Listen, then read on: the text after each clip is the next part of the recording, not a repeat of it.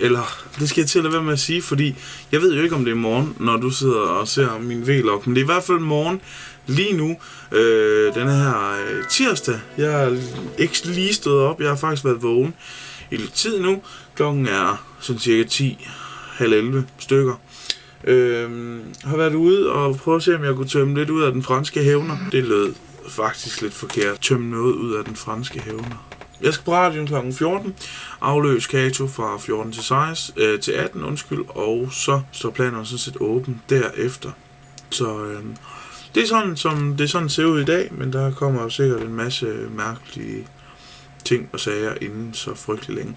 Prøv at høre her. Øh, der kommer en øh, ny ting, som jeg vil indføre her på øh, vloggen. Eller V-loggen. Der var en i går, der også lige skulle kommentere på det, og det her det er altså en V-log. Det er ikke en vlog, eller en vlog, eller en vlog, eller en... Det er en V-log. Det er godt med, at de andre laver vlogs. Jeg laver V-logs. I går der spurgte jeg om det med ophavsretten på en sang, hvis det var sådan, man gerne vil, øh, hvad hedder det, bruge en sang fra en film for eksempel. Og der øh, var der mange, der var inde og svare, blandt andet Bibone.dk har været inde og skrive, at det må man ikke. Øhm, og så skrev jeg sådan lidt frem og tilbage, og så sagde hun, øh, jamen prøv at høre, kan du ikke, øh, altså, kan du ikke bare nynne den så? Og så tænker jeg, man må vel godt synge en sang, hvis ikke man har musikken og så bare lave sin egen tekst til det, så er det vel okay i og for sig. Så derfor så havde jeg sådan forestillet mig, at det skulle være noget af Christian Drastrup, han er sej. Christian Drastrup, helt utroligt sej. Christian Drastrup, du er sej. Du laver vlog, du går til det, og vi elsker dig. Christian Drastrup, superstar. Christian Drastrup, du er også rigtig rar. Christian Rastrup, du er flink. Og du er godhjertet og god ved dyr og elsker børn, og sådan er det med dig. Natasha Bedingfield, Unwritten på ABC. Du fik også Let's Go Over You, og med den vil jeg godt have lov til at sige tak for i dag. Jeg er Anders Andersen udefra, men på den anden side kl. 14.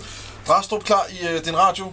Ja. Ja, du står med dit videokamera. Jeg står lige og filmer. Og det er fordi, du stadig har den her blog kørende V, inde på... V-log. V-log inde på, på YouTube. Ja, Christian Drastrup kan man bare lige skrive. Så kan man se det, der sker i dag, lige nu, i morgen.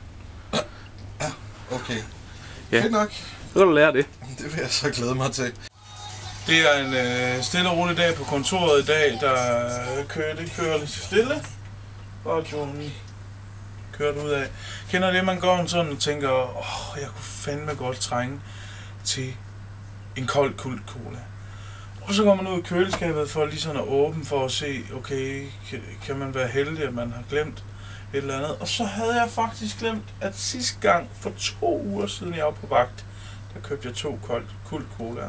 Og den ene havde jeg lagt ud i køleskabet.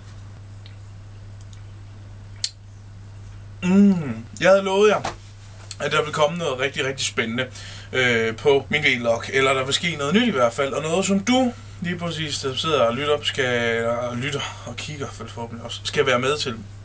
Det jeg gerne vil indføre på min vlog, det er dagens billede. Det kan være et billede af dig selv, det kan være et øh, billede, noget du finder på nettet, øh, et eller andet. Bare et billede, du sender til mig på vlog christiandrastrup.dk hvis du gider at gøre det, så øh, bliver jeg rigtig, rigtig, rigtig glad. Det var altså på vlog christiandrastrup.dk Send mig et billede. Du må gerne fortælle lidt om det, fordi så smider jeg det på. Og så øh, kan man altså øh, få et billede hver evig eneste dag. På vej hjem fra Radio ABC, så kom der skulle lige lidt øh, flere øh, ting på dagsordenen. Nu skal vi ned forbi Murphys og have et møde. Åbenbart, er der nogen, der siger. Og så er min telefon begyndt at brokke sig igen. Nu kan jeg igen ikke bruge de der touch display tingling. Så nu har jeg igen problemer med TDC. Jeg må sgu indrømme, at jeg er ved at være ret træt af dem, og ret træt af, hvad, hvad fanden de er, de går og laver. Så jeg må ind og, og brokke mig igen i morgen inden at jeg, får, jeg skal på, på arbejde. Så vi skal en tur i Storsender Nord. Fedt. Men hold kæft for, at det bliver en dejlig dag i dag. Det er smukt med skyerne og udsigten og det hele. Det er bare rart. Jeg er træt. Jeg har ikke så meget andet at tilføje, indtil vi ses i morgen. Så må du holde dig lækker. Tak fordi du kiggede med på øh, det her afsnit af min vlog.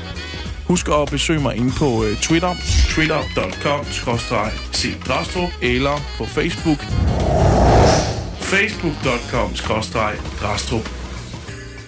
Vi ses i morgen.